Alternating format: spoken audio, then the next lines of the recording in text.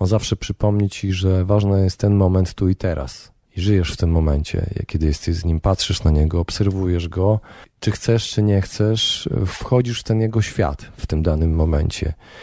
Zaprasza cię do niego. I wtedy jest cudownie. Jesteś znowu dzieckiem.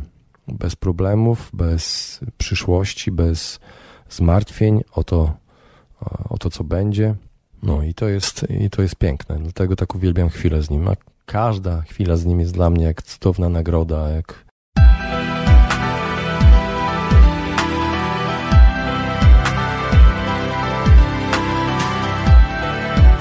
Jestem Radek Budnicki i witam Cię w podcaście Lepiej Teraz, który tworzę dla kreatywnych ludzi z pasją.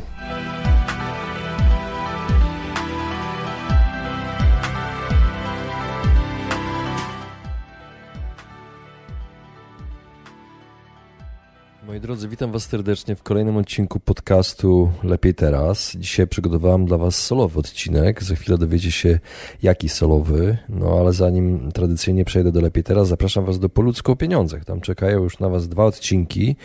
Pierwszy o tym, jak edukować dzieci i młodzież w dziedzinie finansów. Moim gościem jest Małgorzata Sobkowicz oraz drugi solowy, w którym opowiadam o zdrowym podejściu do finansów osobistych i przekonaniach, które pomagają w prowadzeniu takich zdrowych finansów osobistych. No a teraz zapraszam Was serdecznie do Lepiej Teraz. Właśnie włączam nagrywanie podcastu, moi drodzy. Już przywitałem osoby, które oglądają wersję tego odcinka wideo. Mówię minutę już do, do kamery i teraz będę mówił i do kamery, i do mikrofonu w wersji audio. A więc postanowiłem zrobić QA, odcinek QA, w którym odpowiem na Wasze pytania. Zadałem Wam pytanie na Facebooku, jak również pytanie na Instagramie, o co chcielibyście mnie zapytać. No i otrzymałem sporo tych pytań, zebrało się kilkanaście. Postaram się na nie odpowiedzieć w dzisiejszym odcinku. Nie będzie to długi odcinek, więc wystarczy na tyle, żebyście mogli dojechać do pracy, jeżeli to trwa około 20 minut w jedną stronę. Więc moi drodzy, y, pytania nie są uszeregowane w żaden sposób chronologiczny. Po prostu otrzymałem je y, w ten sposób, a nie inaczej. Pozwólcie, że skorzystam z laptopa.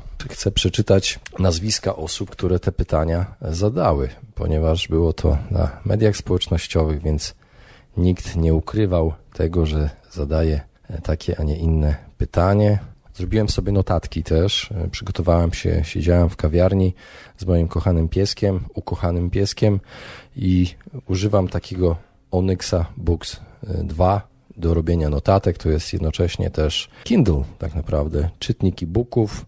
Można robić notatki, jest na Androidzie, ma internet, świetne narzędzie, lekkie, bateria trzyma prawie miesiąc, nie trzeba ładować, więc to jest naprawdę dobre urządzenie. Nie, jest, nie ma takich możliwości do przeglądania internetu jak oczywiście iPad czy inne tablety, ale o to w tym chodzi. Jest to po prostu minimalistyczne narzędzie do pracy i czytania książek, żadnej innej rozrywki. Nie można na tym doświadczyć tak naprawdę.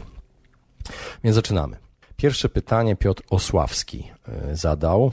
Jakie są Twoje kryteria przy wyborze partnerki i co według Ciebie jest gwarancją udanej relacji? Zrobiłem sobie takie, takie notatki i tak naprawdę niewiele mam do powiedzenia. Nie jestem ekspertem w tej dziedzinie. Kiedyś zrobiłem odcinek y, na ten temat, na temat związków. Jeden z pierwszych odcinków możecie znaleźć. Y, nie będę Wam mówił, który i z kim. Mam ochotę nakłonić Was do przeglądania tytułów, starych tytułów, podcastów. Chcę, żeby to był content evergreen i żeby był wieczny, można tak powiedzieć, niezależnie od tego, w jakim roku go słuchacie, ciągle jest aktualny, ponieważ życie się nie zmienia, ludzie się nie zmieniają, ciągle mamy takie same problemy, takie same oczekiwania, nadzieje w życiu. Więc zapraszam do wysłuchania tego. E, sam obecnie jestem singlem, ale to nie znaczy, że nie spotykam się od czasu do czasu z jakimiś e, kobietami.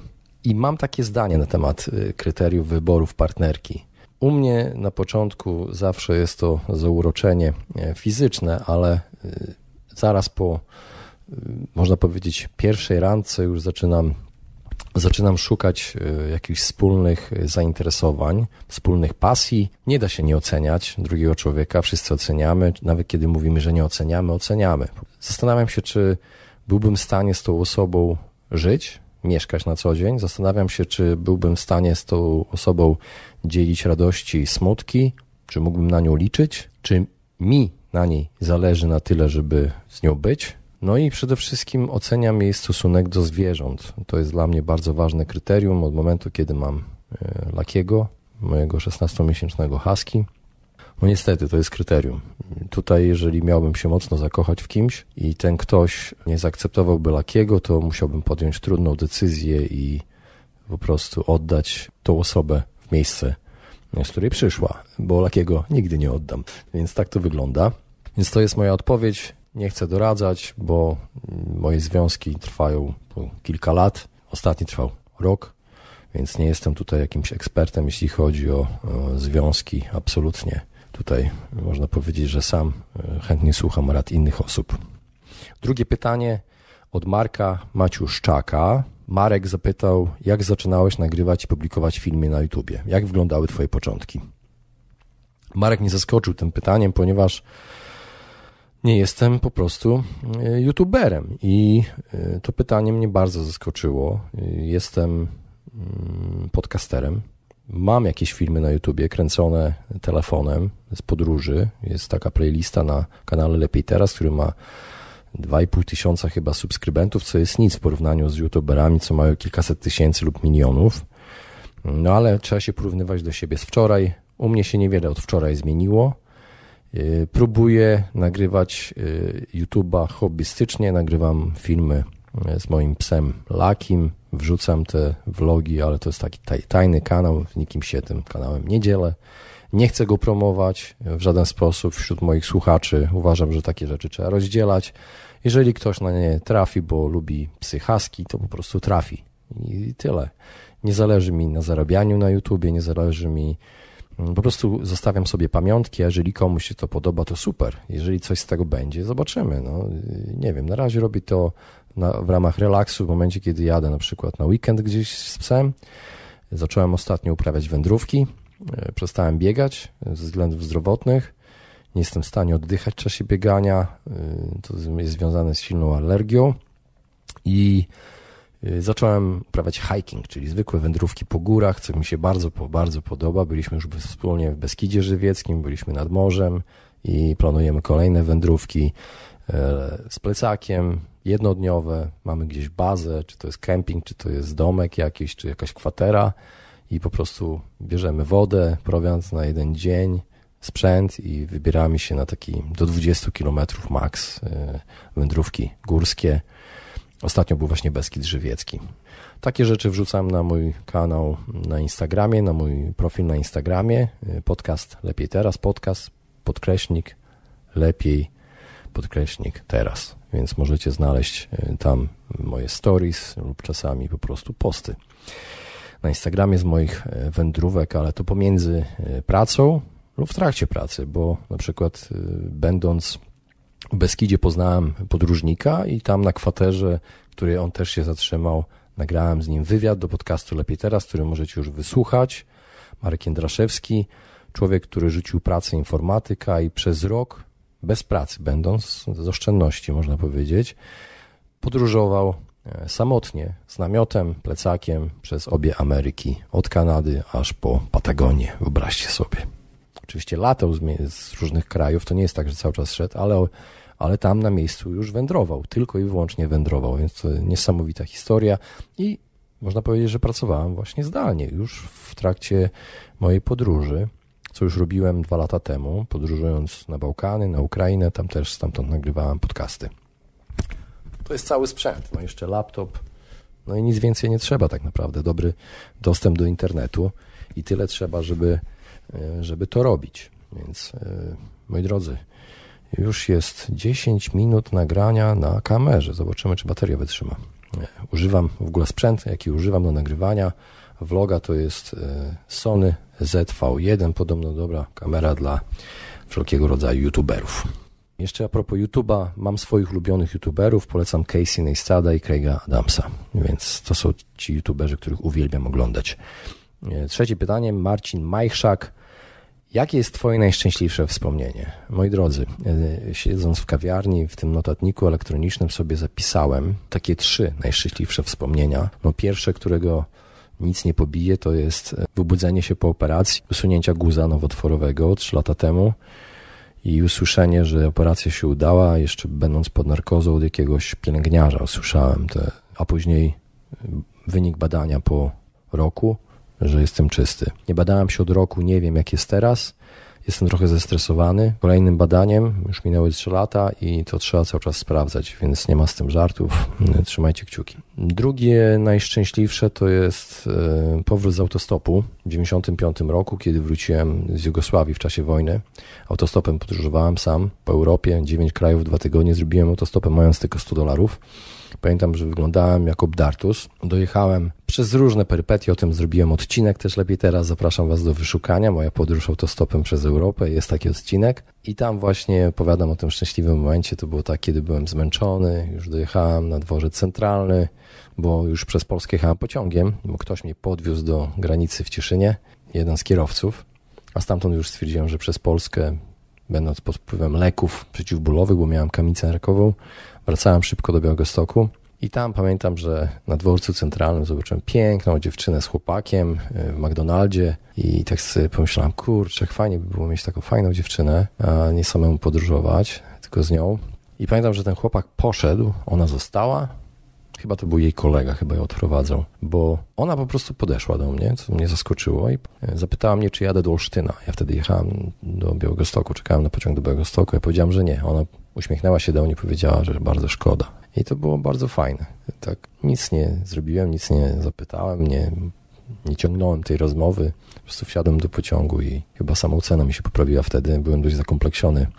To było zaraz po maturze, więc to były takie, e, takie lata. Do dziś to pamiętam. To jest fajne, jako dorosły facet. Do dziś to pamiętam. No i trzecia najszczęśliwsza chwila to jest chwila każdego dnia, którą mam, kiedy budzę się lizaniem mojego policzka, budzi mnie laki, ponieważ chcę wyjść na podwóreczko. Kładzie główkę, tak, brudkę kładzie na łóżko i patrzy i czeka na mnie. I nie piszczy, nie szczeka, nic, po prostu czeka cierpliwie, aż wyjdę z nim na podwórko. I to jest Każda chwila z nim jest naj, najszczęśliwszą chwilą w moim życiu. Jestem zakochany w tym się po prostu. Coś niesamowitego, co się dzieje ze mną. Dalej. Mariusz Stępień. Co robisz, żeby ci się chciało, gdy ci się nie chce? To jest tak. Odpowiedź jest bardzo prosta, ponieważ y, w takich wypadkach po prostu najczęściej robię pierwszy krok. Kiedy mi się nie chce biegać, ubieram się, zawiązuję sznurowadła, buty zakładam, ubieram się, wychodzę, zamykam drzwi i mówię sobie, a może się przejdę, bo nie chce mi się biegać. No ale może podbiegnę 100 metrów. No, 100 metrów to trochę za mało, 200. Kurczę, dam radę 200, nie jest tak źle, przebiegnę 500. No i okazuje się, że wyszedłem biegać. I tak robię z każdą rzeczą. Kiedy mam napisać albo nagrać podcast, po prostu wyciągam mikrofony, wyciągam scenariusz, zaczynam, przedstawiam się, no i jakoś idzie. Nawet kiedy mi się nie chce. Ważne, żeby zacząć, ważne, żeby rozpocząć proces możecie to zakończyć, możecie nie kontynuować, ale musicie sprawdzić, czy jest ok, bo po prostu czasami coś nas blokuje. Trzeba się odblokować. Dalej. Angielski z Patrykiem, taki profil na Instagramie, zapytał mnie, dokąd zmierza obecne podejście do zdrowia, czemu spycha się pojęcie naszej odporności do teorii spiskowych. Okej. Przede wszystkim szczepię się, wierzę w naukę, wierzę w historię tego, że szczepionki uratowały ludzkość niejednokrotnie. Wierzę naukowcom, nie wierzę celebrytom, piosenkarkom i piosenkarzom. Jestem odporny na wszelkiego rodzaju charyzmę tych osób, które są ignorantami po prostu. Poza tym widzę, kto jest antyszczepionkowcem, jacy ludzie, jaki poziom wykształcenia prezentują, jakie mają poglądy polityczne najczęściej. I to jest dla mnie najlepsza antyreklama antyszczepionkowców. Ci ludzie sami sobą, swoim zachowaniem.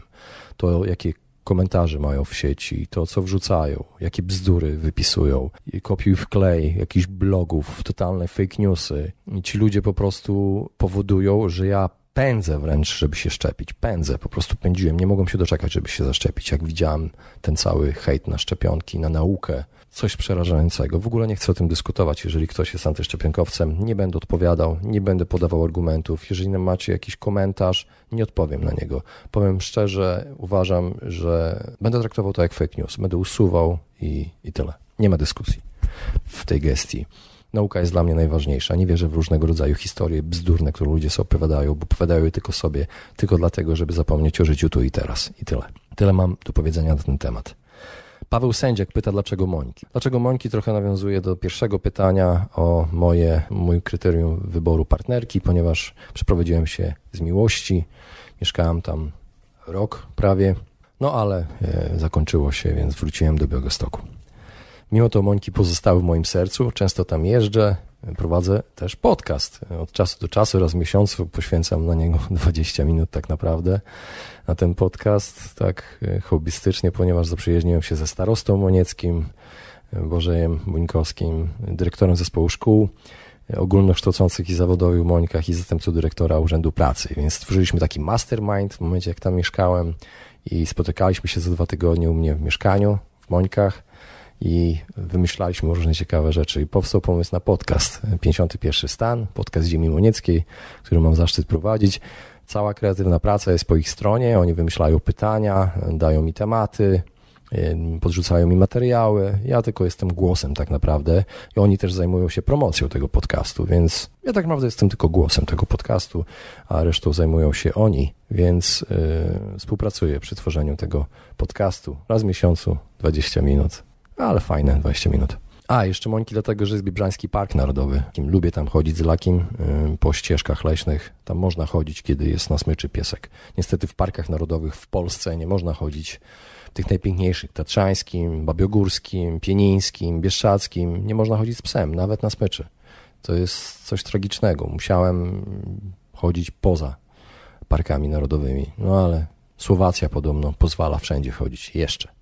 Tamto pytanie było od Pawła Sędziaka, teraz Danuta musiał zapytała, gdybyś mógł wprowadzić trzy nowe przedmioty do programu nauczania, to co by to było?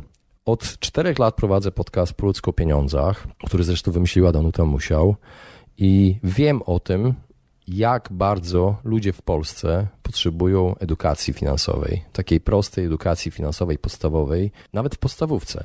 Według mnie dzieci powinny uczyć się, jak zarządzać pieniędzmi, co to jest budżet, skąd się biorą pieniądze, jakie wydawać, jakie oszczędzać, jakie można inwestować już nawet można uczyć e, dzieci.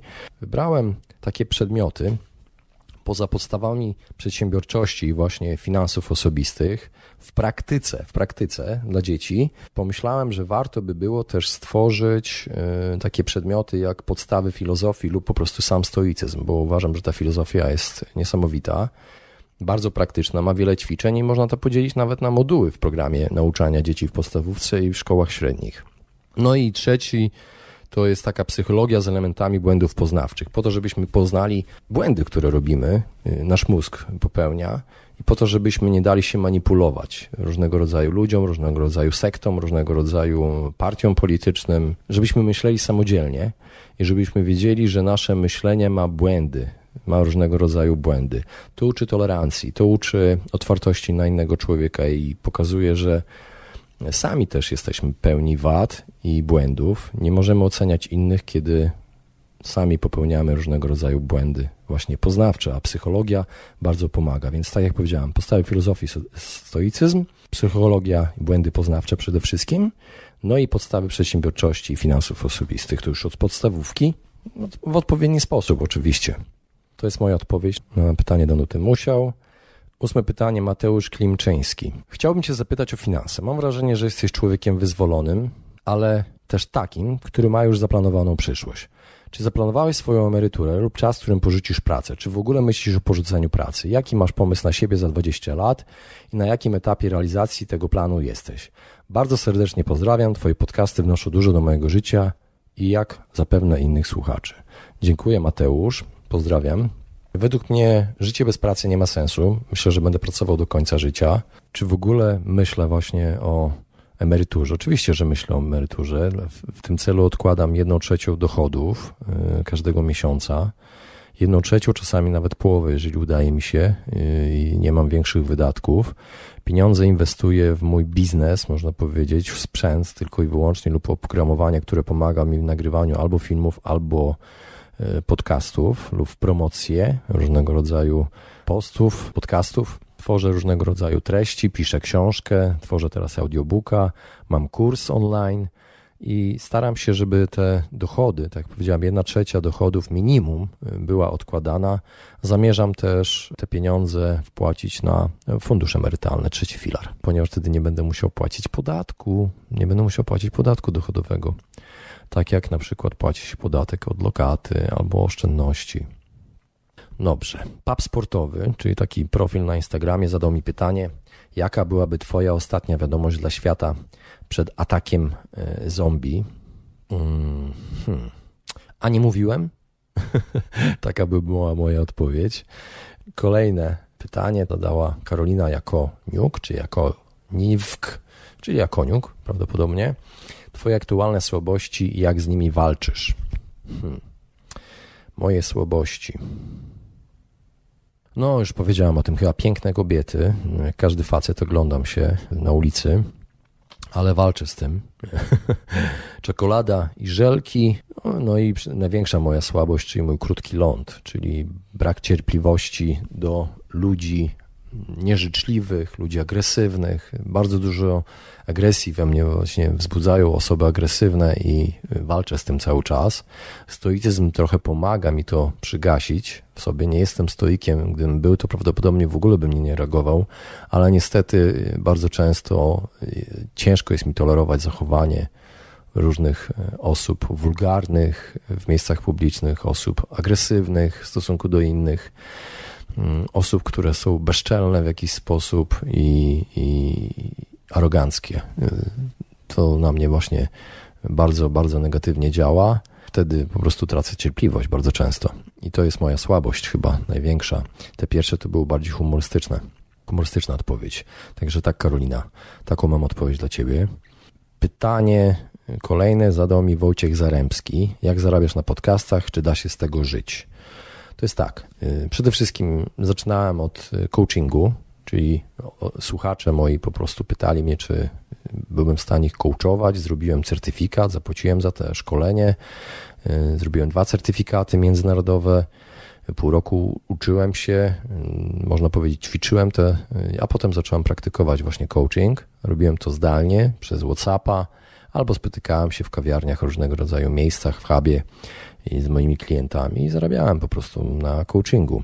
Potem był Patronite. Na Patronite przez jakiś czas zarabiałem. W dalszym ciągu możecie mi wspierać na Patronite, odwdzięczać się y, za treści, które Wam dostarczam, jeżeli Wam się to podoba, oczywiście. Jeżeli chcecie mieć dostęp do tajnej grupy y, na Facebooku, grupy patronów, gdzie są różnego rodzaju treści, podcasty, których nigdzie nie publikowałem, moje wystąpienia wideo, moja książka w rozdziałach, już jest kilkanaście rozdziałów w wersji PDF, mój journal w wersji PDF kolorowej, journal lepiej teraz, z kilkunastoma, można powiedzieć, tabelkami do wypełniania codziennie, no i inne, inne treści. Zapraszam do wspierania mnie na Patronite, to jest jeden ze sposobów wspierania podcastu. Zarabiam też na wierszówce, na przykład ostatnio napisałem artykuł o podcastach do My Company, różnego rodzaju zlecenia związane z podcastingiem, o których nie mogę mówić, bo mam właśnie podpisano NDA, umowę o poufności, konsultacje dotyczące podcastów dla firm, jak założyć podcast i tak dalej. Recenzje książek też były e, płatne, e, mentoring, reklama w podcastach też pojawiała się. Na pewno słyszeliście na przykład jakieś suplementy diety, a poza tym mam kurs online mm, na niezniszczalni.ideamen.tv na stronie niezniszczalni.ideamen.tv Y, wkrótce być może będzie audiobook dotyczący podcastów, ale to jeszcze nie jest ukończone, więc jest w drodze. Taki techniczny bardziej dotyczący podcastów. Nagrywania w sposób minimalistyczny. Taki podcast minimalisty. Dalej. Dawid Pas 86. To pytanie prawdopodobnie właśnie z Instagrama. Czy zmieniły się Twoje priorytety wierzenia i co lub kogo zacząłeś bardziej doceniać po wygranej walce z ciężką chorobą oraz czy są rzeczy, którymi przejmowałeś się przed chorobą, które teraz wydają Ci się błahe? Tak, przestałem wierzyć w bullshit. Przestałem wierzyć właśnie w historyjki, różnego rodzaju horoskopy, różnego rodzaju duchowe rzeczy. Tak troszkę to sakrum u mnie umarło, e, dominuje profanum. Szkiełko i oko, nauka, racjonalizm pojawił się. Uratowała mnie nauka, uratowali mnie lekarze, wyszkoleni, ciężko pracujący, ćwiczący codziennie, ciężko w trakcie operacji, medycyna szczęście, że urodziłem się w tej szerokości geograficznej, w tym kraju, który należy do Unii Europejskiej, gdzie y, ubezpieczenie pozwoliło mi opłacić operacje. Wiele osób, miliony ludzi na całym świecie, nawet w bogatych krajach, nie stać na to, chociażby w Stanach, gdzie służba zdrowia jest płatna i ubezpieczenia są naprawdę kiepskie, zdrowotne. Niewiele osób na, na takie ubezpieczenia stać, po prostu nie mogłoby sobie pozwolić na coś takiego. Poczułem wdzięczność za każdą chwilę i to, i to jest ta różnica. To jest ta różnica. Wierzę, że mamy tylko jedno życie. Nie wierzę w, w, życie po śmierci. Nie ma czegoś takiego. Uważam, że to są tylko historie, które ludzie się dzielą. Najlepszy marketing na świecie. No, jak można do czegoś kogoś przekonać? Wystarczy obiecać mu życie wieczne. No, po prostu i uważam, że to jest taka, taka manipulacja. Dobra manipulacja, skuteczna, bo strach jest silnym triggerem, silnym bodźcem i ludzie ze strachu wierzą w różne rzeczy. No i wydaje mi się, że tak dało mi to w kość. Nie wiem, czy by nie, bym nie uwierzył, gdybym e, był w gorszym stanie. Ciężko powiedzieć. Wydaje mi się, że nasz organizm postawiony przy ścianie, w cierpieniu takim fizycznym, czystym fizycznym cierpieniu i w strachu przed śmiercią, może płatać figla z naszym mózgiem i doprowadzić do tego, że jesteśmy w stanie uwierzyć we wszystko, uwierzyć każdemu, zrobić cokolwiek, żeby tylko ten ból i ten strach minął. Więc nie ufam swojemu mózgowi, ufam wtedy, kiedy jest zdrowy, wtedy, kiedy nie ma tego strachu, bo myśli racjonalnie, myśli trzeźwo. Mózg, e, który znajduje się w ciągłym zagrożeniu, jest kiepskim doradcą, tak można powiedzieć. Jesteśmy w stanie uwierzyć wszystkim we wszystko. Stąd jest taki, taka duża kariera różnego rodzaju szarlatanów, tak zwanych znachorów, uzdrowicieli, ludzi, którzy oszukują, leczą raka witaminą C, jakąś energetyczną wodą, w ogóle mnóstwo jest takich e, rzeczy, no ale jak można to przetłumaczyć ludziom, którzy, którzy nie mają nadziei? No, ja nie będę tego im mówił, nie będę ich przekonywał, bo oni będą wiedzieli lepiej. Poza tym, jeżeli to sprawia, że oni czują się lepiej, to to już jest chyba mm, jakiś plus. Gorzej jest wtedy, kiedy zostają pozbawiani ostatnich oszczędności na różnego rodzaju specyfiki, które są e, zwykłym oszustwem. Także tak, bardziej nauka, bardziej racjonalne myślenie, mniej wierzę ludziom, ale z drugiej strony też jestem wdzięczny ludziom. Pokazało mi też to, jak wielu osobom na mnie zależy tak naprawdę. Ale też nie dziwię się, jeżeli komuś na mnie nie zależy, bo y, też mam różne podejście do innych ludzi. No takie trzeźwe myślenie, bardziej chyba nabrałem dystansu do życia. Cieszę się każdą chwilą, dosłownie każdą chwilą, a tym pomaga mi też posiadanie psa, ponieważ pies to jest najlepszy nauczyciel, najlepszy terapeuta, najlepszy przyjaciel. Nawet jeżeli on nie jest tego wszystkiego świadomy, myśli tylko o tym, żeby powąchać kupę, nie wiem, powąchać kolejną suczkę, siknąć, gdzieś tam pobiec, pogryźć i, i tyle, to, to wystarczy. To wystarczy. On jest kochany, bo on przyjdzie, bo on popiszczy, bo się przytuli do ciebie, bo będzie się chciał z tobą bawić. On zawsze przypomni ci, że ważny jest ten moment tu i teraz żyjesz w tym momencie, kiedy jesteś z nim, patrzysz na niego, obserwujesz go, czy chcesz, czy nie chcesz, wchodzisz w ten jego świat w tym danym momencie. Zaprasza cię do niego i wtedy jest cudownie, jesteś znowu dzieckiem. Bez problemów, bez przyszłości, bez zmartwień o to, o to co będzie. No i to jest, i to jest piękne, dlatego tak uwielbiam chwilę z nim. A każda chwila z nim jest dla mnie jak cudowna nagroda, jak ja po prostu kultywuję wdzięczność. Wdzięczność pojawiła się przede wszystkim, tak można powiedzieć. I Was wszystkich zachęcam do tego, żebyście znaleźli, zrobili sobie taką listę rzeczy, za które jesteście wdzięczni, za które nie uświadali, mieliście sobie wcześniej, że możecie być wdzięczni. Tak to wygląda. Tak to właśnie wygląda. Moi drodzy, już ponad pół godziny nagrania. Myślałem, że będzie to trwało 20 minut. Pytań było chyba 14. A, jeszcze odpowiem na pytanie takie, które zostało zadane kiedyś mi. Sobie wypisałem, ile pieniędzy oznacza, że już nam starczy. No, wydaje mi się, że jako, że mi jestem minimalistą, nie gromadzę rzeczy poza technicznymi nowinkami, które służą mi do produkcji różnego rodzaju treści, to Myślę, że już przy trzecim aucie w garażu to możesz sobie powiedzieć, że starczy ci, nie? No, oczywiście to jest żart, ale będziesz wiedział, kiedy starczy.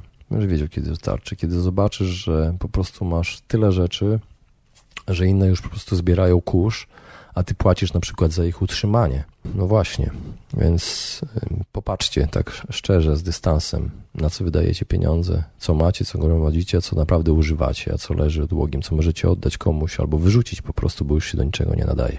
Więc ile pieniędzy wystarczy? Tyle, żeby mieć dach nad głową, żeby mieć co zjeść, w co się ubrać, być czystym i żeby was stać było na opiekę zdrowotną i wasze dzieci i na naukę. I to wszystko. Reszta to już jest wisienka na torcie. Każda reszta jest wisienką na torcie. Każdy dodatek. To, że będziecie mieli pieniądze na ekstra benzynę i na hotel yy, nad morzem na tydzień, no to to już jest wisienka na torcie. To nie jest potrzebne. To już jest wisienka na torcie.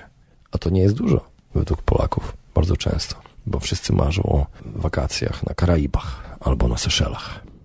No i czy jestem szczęśliwy? Na koniec pytanie. Tak, bardzo. Każdego dnia. Mam dobre życie, bo niczego mi nie brakuje. Mam co jeść, mam czystą wodę, po którą nie muszę chodzić kilka kilometrów, bomby mi nie spadają na głowę, tak jak wielu ludziom na tym świecie. Mam dostęp do internetu, czyli należę do tego chyba naprawdę niewielkiego procenta osób, które mają sprzęt komputerowy, telefon komórkowy. Mogę spokojnie wyjść do kawiarni i pracować tam. Nikt mnie nie zaaresztuje. Nagle za coś, co napisałem, jeszcze przynajmniej tak jest. No i mogę mówić do Was, bo mnie słuchacie i chcecie mnie słuchać. Moi drodzy, to tyle, jeśli chodzi o QA, moje odpowiedzi.